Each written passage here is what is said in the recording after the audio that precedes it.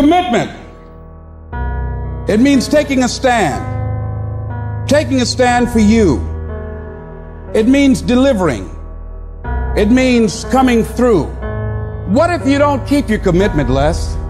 What if you give it everything you have and you come up short?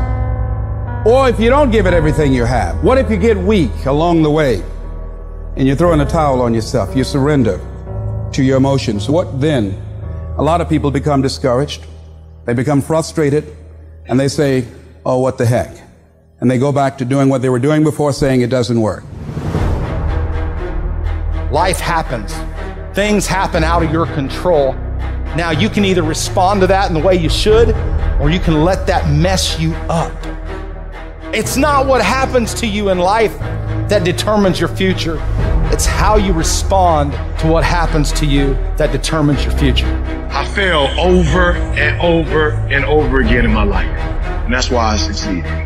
You get to make a choice. Is failure going to break you or is failure going to make you?